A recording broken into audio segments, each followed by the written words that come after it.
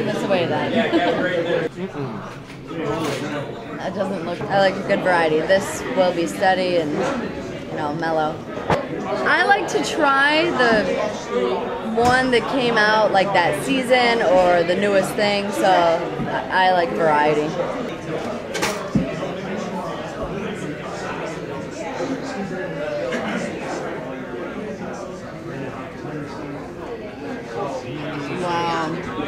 Um, has a little bit of spice to it with the darkness, but it's thick, filling,